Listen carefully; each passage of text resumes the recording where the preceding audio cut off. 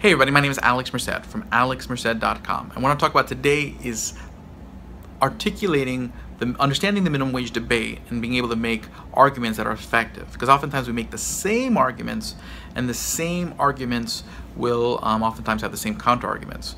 So, for example, one argument will say people will use is, well, if you increase the minimum wage, it's going to increase the price of everything. That's not necessarily the case. So you leave yourself open to a very easy counter argument because people can pull up you know, uh, price data for different municipalities that have increased their minimum wage, and some have price increases, some don't. The reason is there's more than one way to deal with price increases, not just uh, increasing the price of your goods. And while that'd be the easiest way, and most companies would prefer, well, they don't want to raise the price on their goods because they'll, they'll lose customers, but sometimes that's the easiest way to do it if the good that you're selling has inelastic demand, which means if you raise the price, people aren't going to go away. But if you're like a candy store and you raise the prices of your candy, you're probably gonna lose customers. So that means you're probably gonna have to cut those costs elsewhere, which does mean lowering labor costs, possibly, which means unemployment. So there goes that another argument. Um, and or just basically taking lower profits. But then if you take lower profits, sure, that business takes lower profits, but it also means the next person who may want to start a candy store sees that the candy store makes less profits, and they're like, mm, doesn't seem like a worthwhile investment. So you actually reduce the amount of investment capital for that type of venture going forward.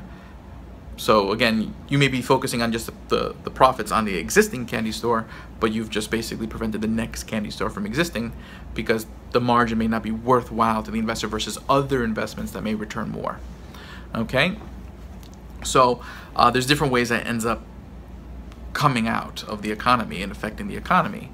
Um, another argument we make is an unemployment argument which is you know it can cause reduced costs. Again the problem is you don't see a lot of this minimum wage effects very pronounced in data because it's not a huge amount of the population that actually works at the minimum wage. The way the minimum wage effects work is oftentimes a small amount of people actually do see an increase in their wage initially because um, you know they worked a minimum wage, so they were at $13 an hour. Now they're at $15 an hour.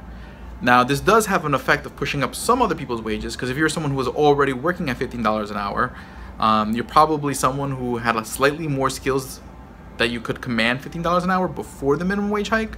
So then now your employer's kind of pressured to give you a little bit more, so they may push you up to 16 or 17. This is partly the reason why, like in the Seattle data, um, while they didn't see much benefit at the lower wage levels, they saw a benefit at the high, uh, like slightly higher wage levels. So you'd see like an increase in like $19 an hour work, $17 an hour work, because all those jobs that used to be $15 an hour are now kind of pushed up a little bit. Because if not, I mean, if you have to you have to do a, a, basically a harder job and an easier job for the same pay, then why do the harder job? Just do the easier job. So now I got to offer you more.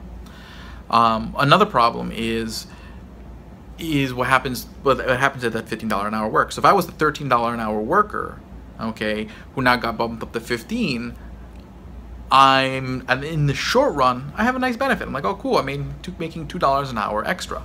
Now, the company may have to try to deal with those labor costs. They may not fire people, so you may not see an, a decrease in actual number of people employed, but you may see a decrease in the hours worked. So they might make people um, work have less people working each hour or have so people are working less hours per week to help make up those costs. Or what they do is they're like well if I have to pay $15 an hour then I might as well hire $15 an hour worth workers. So I'm going to hire higher skilled workers because I might as well at least get my bang for my buck so then what happens is that they'll start lowering the hours of those used to be 13 an hour workers start hiring new workers who command $15 an hour and slowly over time replacing those old workers. So now that person who initially got a raise now is unemployed over time. It doesn't happen right away. Okay, because these things just don't happen right away. And so you, it'll seem like, okay, wow. And then that will improve, let's say, the quality of McDonald's because you have these higher level employees who may be better at customer service, maybe better attention to detail, and the overall experience at McDonald's may be better, and, and people will be happy with the way their experience at McDonald's. But the problem is you've just distracted someone who prior to the minimum wage change worked somewhere else where probably that higher level of productivity they have was put to better use, was more necessary. And now you, you have them working at McDonald's where, you know what, it's nice maybe to have that extra productivity, but isn't necessary. It isn't as useful or as valuable to society because if not, they would have already been working there. Um, So now you've distracted more productive labor from more productive uses. And that you can't quantify. You can't see what they would have been doing otherwise. But it's just logical that that's going to happen. I mean, again, faced with these different decisions from the different actors, why wouldn't they make these decisions? And to me, those are the real facts that are kind of hard to argue against when it comes to minimum wage. Because if you start arguing, you know, outsourcing again people will say well you can't really outsource you know a mcdonald's to china. No one's going to go to china on their lunch break. It's true. You could shut down the mcdonald's though just because they can't afford it. Um, and they'll be like what about the profits of mcdonald's well the problem is most mcdonald's aren't owned by mcdonald's they're franchises and the profit margins of the franchise owners are very small even though McDonald's profits, which is a franchisor and a real estate company for the most part, are really large, have nothing to do with the labor costs of your individual McDonald's stores. Again, you in that case, you would want to take a look at a Wendy's, which then has who operates its own stores, which has a much smaller, uh, you know, uh, profit margin. But here's a lot of different discussions back and forth that you hear when you when you hear people talk about the minimum wage, and um, whether it gets people to spend more. People say, well, you know, you're giving money from rich people to poor people, and the poor people are more likely to spend it. That's assuming that consumption is the only thing that drives the economy. Consumption only can help people buy stuff that exists now. The stuff that's going to exist tomorrow comes from savings and investment. So if there's less savings and less investment going on to produce things tomorrow, there will be less things tomorrow. It doesn't matter how much money people have to consume with because there's less stuff tomorrow.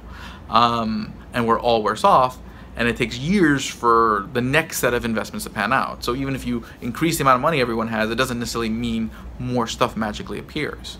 So you, so again, for that example, where basically that next candy store won't open because it's less profitable to start the next candy store because of the change in the dynamics. So there are real things, and a lot of times the, the negative effects you don't see right away. They happen over time, and they happen so further into the future that you won't even be able to directly see that it's because of the minimum wage or other such policies that cause these problems. But it doesn't necessarily mean we don't we need to make sure we discuss it so people can understand what they're getting into. So my name is Alex Merced from alexmerced.com. Have a great day and enjoy.